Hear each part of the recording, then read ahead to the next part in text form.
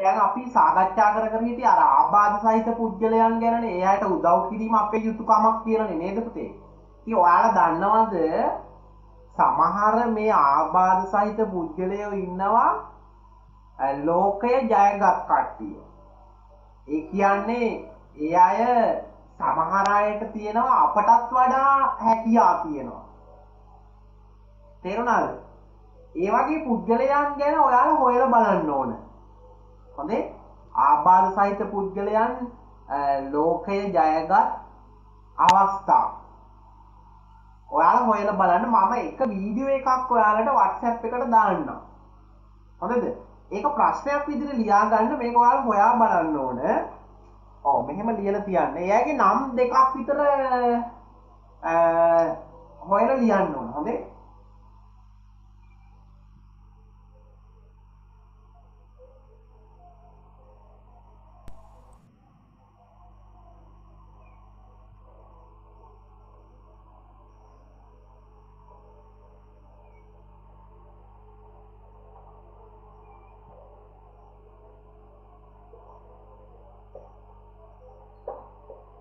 නම් දෙකක් හොයල ලියන්නකෝ. මම වීඩිය එකක් තියෙන මම එක දැම් පෙන්න්න නෑ ඒක මම ඔයාලට දාන්නම්. ඔයාලට බලන්න. සර්තන තියනෙ ආබාත ආබාධතද ඔ ලෝකේ ජයගත් ආබාධ සහිත පුද්ගලයෝ. දෙන්නෙක් හොයාගත්තාන් ඇති ලෝකී ජයගත් කියන මොකක්ද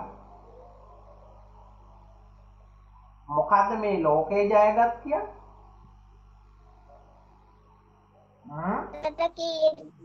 ගේන පුද්ගලයා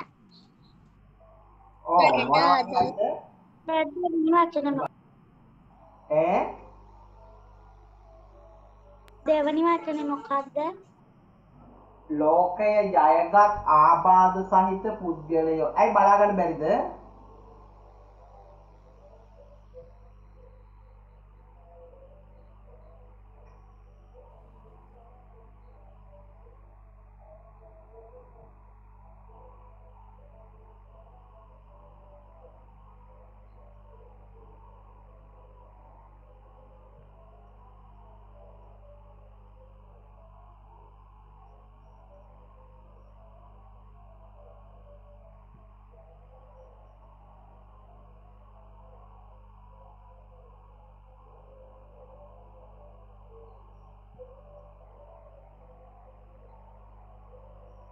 හරිස.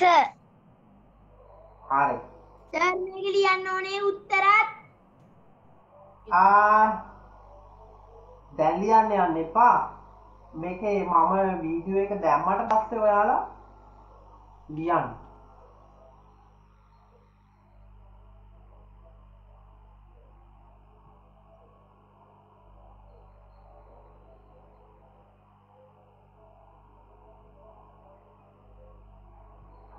හරි. ඒක දැම්මට පස්සේ ලියන්න. හොඳේ? මේ සමහර පුද්ගලයෝ ඉන්න පුතේ මේ අපට වඩා හොඳට පීනන්න පුළුවන්. නමුත් අත පාය දෙකම නෑ. අත් දෙකක් නෑ කකුල් දෙකක් නෑ. හොඳට පීනන්න පුළුවන්. ඒ වගේම ලෝකයේ හොඳම ධනවතෙක් හොඳම සල්ලිකාරයෙක් නේද? එයා කරන්නේ දේශනා දෙන එක කොහොමද මිනිස්සු ලෝකේ ජයගන්න කියන තමයි යා දේශනා රවරේ සික්නල් නැතිලා දැන් ලොග්ගුණේ ඕ මේ බෝඩ් රවරේ සික්නල් නැතිලා දැන් ලොග්ගුණේ මොකද්ද කරේ? ඕ මේ බෝඩ් එකේ තියෙන එක ලියාගන්න. ලෝකේ ජයගත් ආබාධ සහිත පුද්ගලයෝ.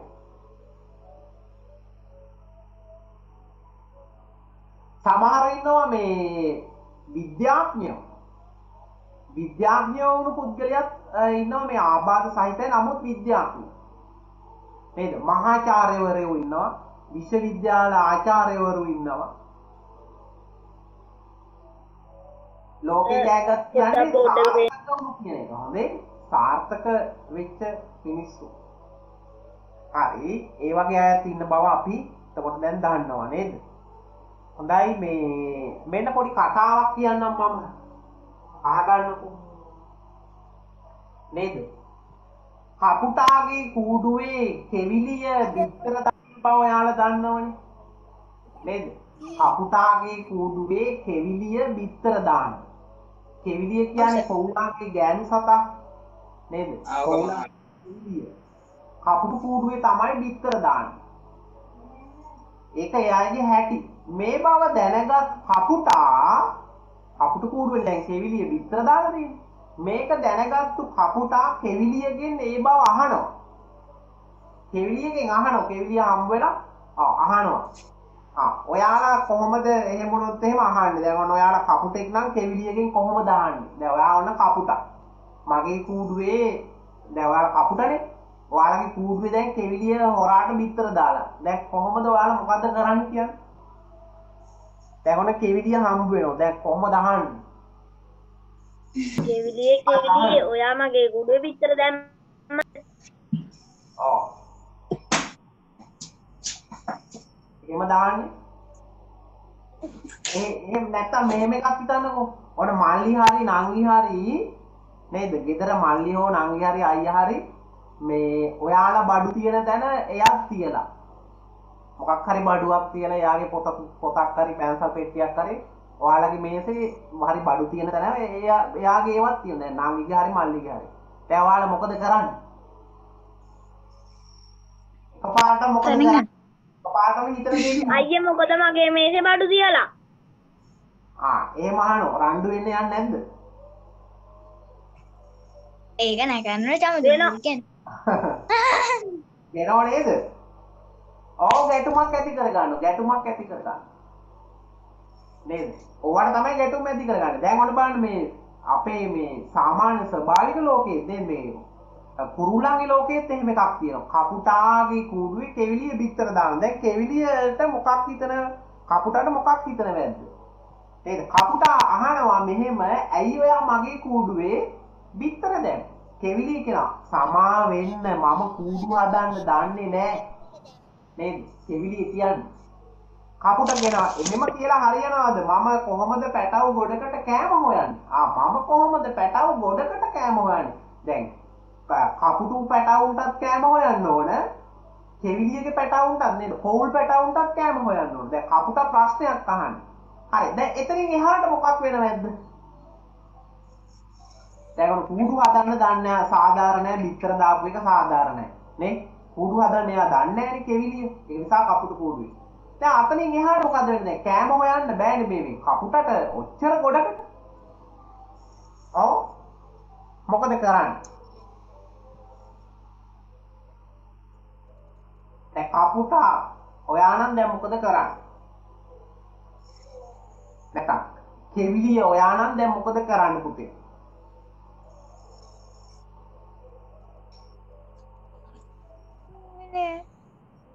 ඈ එලවල දානවද? නෑ. ඔව් එලවල දාන්නත් බෑනේ අරයා රණ්ඩු ගන්නවා. ඕ නෑ තීරණයකට අපට එන්න වෙනවා නේද? ගැටුමක් ඇති නොකරගන්න නැතුව තීරණයකට එන්න වෙනවා. මොකද තීරණය? සමහර විට කෙවිලියට කියන්න පුළුවන් ආ එහෙනම් මගේ පැට් මේ කූඩු වෙන ඔයා බිත්තර දාලා ඉන්නේ. හරි මම බිත්තර ටික ආරක්ෂා කරගන්නම්.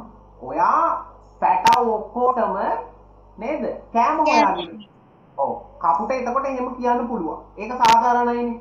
නේද? ඔව්. කෙවිලියට කියන ඔයා මේ කැට පැටව ඔක්කොටම කෑම හොයාගෙන එන්න. මම මේ බිත්තර මගේ කූඩුවේ තියාගෙන ආරක්ෂා කරන්න. නේද? අන්න එතනින් මොකද්ද වෙන්නේ? ගැටුම් සමතයකට පත් වෙන ගැටුම निराකරණය වෙනවා. මොකක් වෙනවද? ගැටුම මොකක් වෙනවද නිරාකරණය වෙනවා. ඔව් නිරාකරණය වෙනවා. නිරාකරණය වෙනවා කියන්නේ පුතේ සමත ඒකට පත් වෙන. නැත්තම් සාමදාන වෙනවා. නේද? තීරණයක් අරගෙන තමයි සාමදාන වෙන්නේ. ඔළුව පහත් කරගෙන හිටියේ නෑනේ දැන් කපුට අනේ කමක් නෑ මගේ කමන්න ඔන්න ඔහේ මමත් ඉන්නවා කියලා එහෙම ඉන්න එක හොඳයිද? දැන් කෙවිලිය පිටර දැම්මාට පස්සේ කපුට හිතනවා මෙහෙම ආ කමක් නෑ ඔන්න කමක් නෑ මමත් ඔන්න ඔහේ ඉන්නවා කියලා නේද ආ, නොදන්නව වගේ ඉන්නවා එහෙම කියලා හිටියද කපුටා නිකන් නෑ නෝන්ජල් වෙවි නෝන්ජල් වෙවි කියන්නේ නෑ. ගණන් ගන්න නැතුව අනේ වැඩක් නැහැ කමක් නැහැ පවුනේ නේද? එහෙම කී කී හිටියෙත් නැහැ. නේද? එහෙම ඉන්න එකත් හොඳ නැහැ. නේද? කපුටා ඔය ඇහුවා ගිහිල්ලා ඔයා මොකද මෙහෙම කරන්නේ? එතකොට කෙවිලියක් කිව්වා මම එයාට සාධාරණයි එයාගේ නේද? එයා කූඩු හදන්න දන්නේ නැහැනේ. ඒක නිසා මම බිත්තර දැම්මා. ආ ඊට පස්සේ අවසානයේ දැන් ගැටුමක් ඇති වෙන්න අවස්ථාවක්. නමුත් ගැටුමක් ඇති වුණේ නැහැ. මොකද එක්කෙනෙක් කෑම හොයනවා අනිත් එක්කෙනා පැටව ආරක්ෂා කරනවා. නේද? එතකොට ගැටුමක් ඇති වුණා. ගැටුම निराකරණය වුණා. ඉතින් ඔන්න ඔය වගේ පුතේ හැම ප්‍රශ්නයකටම දැන් අපිට මේකෙන් පේන්නේ හැම ප්‍රශ්නයකටම පිළිතුරක් තියෙන නැත්නම් තීරණයකට ආවට පස්සේ එතන ගැටුමක් නැහැ. නේද? තීරණයකට ආවට පස්සේ ගැටුමක් නැහැ. තීරණයක් නැති වෙනකම් ගැටුම තියෙනවා. නේද? ඇඟි හොරා ඉන්න ගියාම ගැටුම ඇති වෙනවා. නේ? තීරණයකට ආවට පස්සේ ගැටුම ඇති වෙන්නේ නැහැ. ඒක තමයි අවසානයේ හැම එකටම තීරණයක් තියෙනවා. දෙගොල්ලෝ සාකච්ඡා කරලා තීරණයක්. එතන තමයි ගැටුම නිරාකරණය වෙන්නේ ගැටුම නිරාකරණය පැහැදිලිද? කීයටද? ඔව් හොඳයි. එහෙනම් අපි පොඩි ප්‍රශ්නයක් ලියාගන්නමු ඒකෙන්. පන්තිවල කීයටද? ඔව් අටට අපි ඉවර කරමු.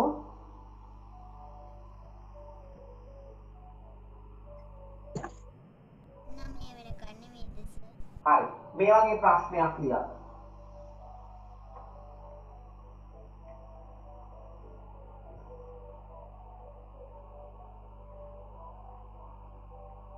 අන් මතවලට අන් ලියන්න පුතේ අන් මත වලට ද ඉඩදී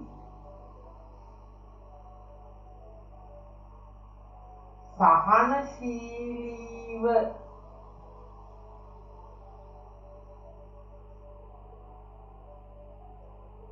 සහනශීලීව කටයුතු කිරීමේ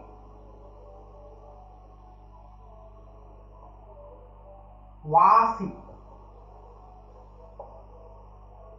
අන් මතවලට අන් අයගේ අදහස් වලට මත කියන්නේ අදහස්. අන් අයගේ අදහස් වලටත් ගෞරව කරමින් නේද? ඉඩ දෙනවා කියන්නේ ඒවටත් අවස්ථාව දෙනවා.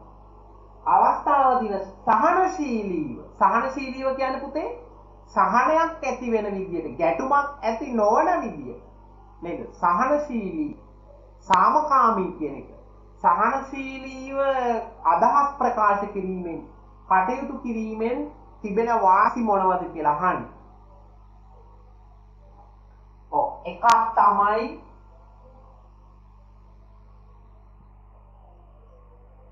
ගැටුම් නිරාකරණය ගැටුම් නිරාකරණය නිරාකරණය වෙනවා කියන්නේ වැළකීම. ඕන වරහන් ඇතුලේ අපි ලියමු වැළකීම.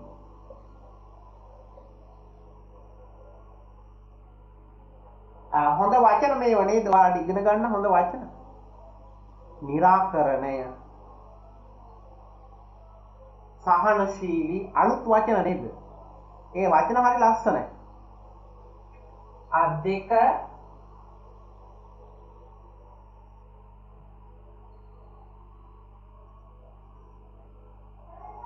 හිත හොඳ දිගටම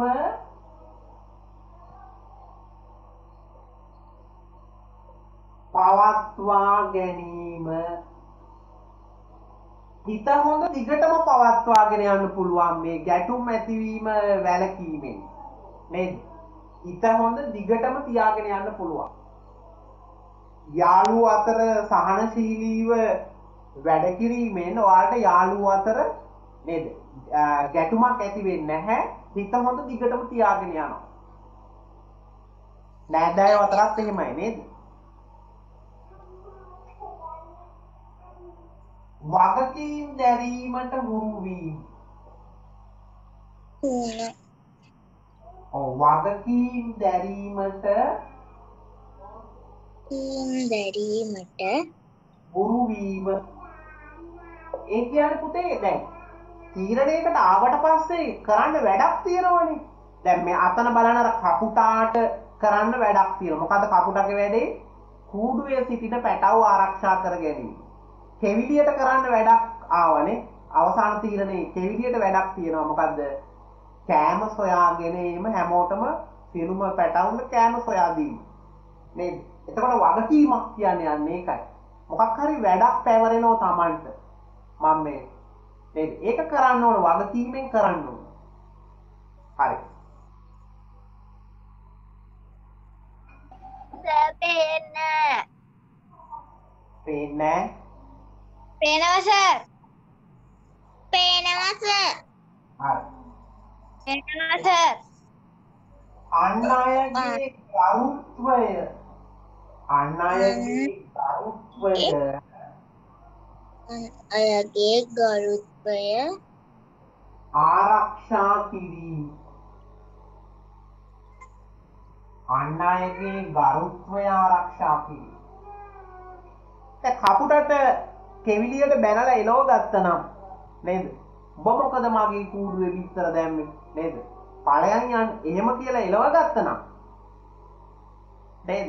එතකොට කෙවිලියගේ ගරුත්වයට මොකද වෙන්නේ? හානි සිද්ධ වෙනවා. එහෙම නේද? දැන් ඔන්න අයියා ඔයාලගේ මේ ඩෙස් එකේ මොකක් ඔව් අයියා මොනවා හරි ඩෙස් එකේ ඔයාලගේ ඩෙස් එකේ මොනවා හරි කියනවා. ඒතර මාල්ලි මොකද කරන්නේ? අයියාට බැනලා එලව ගන්න. නේද? එතකොට මොකද වෙන්නේ අයියාගේ ගරුත්වයට? හානි සිද්ධ වෙනවා. නේද? එතන ලොකු බලපෑමක් සිද්ධ වෙනවා. අනිත් පැත්තටත් එහෙමයි. හරි. ගැටුම් ඇතිවීමෙන් වෙන්නේ අන් අයගේ ගරුත්වයට හානි සිද්ධ වෙනවා.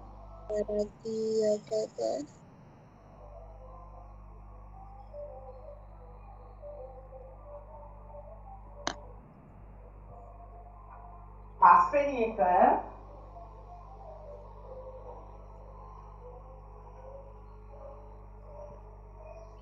සමාජය තුල සමාජය තුල යහපත් සමාජය තුල යහපත් පුද්ගලයෙකු ලෙස කැපී පෙනී